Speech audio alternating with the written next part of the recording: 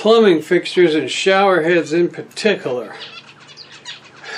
They're the new shower heads ha are designed to, um, and all, pretty much all plumbing fixtures reduce the water flow.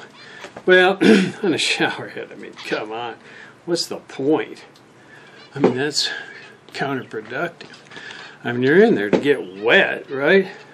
So what you do, you go in here with your drill and you drill it out. And you're going to have stuff like this come out.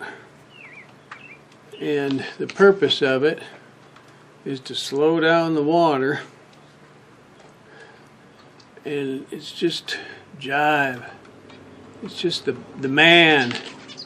The man's got the jive. Just get in there with the drill and drill that out. And uh, when you're done, it'll be, um, there's still something, you can still see something in there that's looks like kind of like a wall, but it's the water is going, it hits that wall, and then it goes around.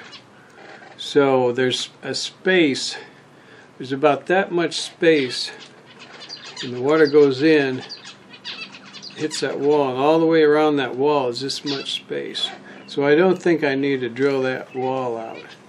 If you did drill it out, I don't think it would hurt it too bad. Plus, this goofy fixture only costed $15 anyway. But, uh, and the other thing you can do is, if you're not sure, you know, get a, get a couple things like this out. You know, and there was another piece too that I lost. And then try it.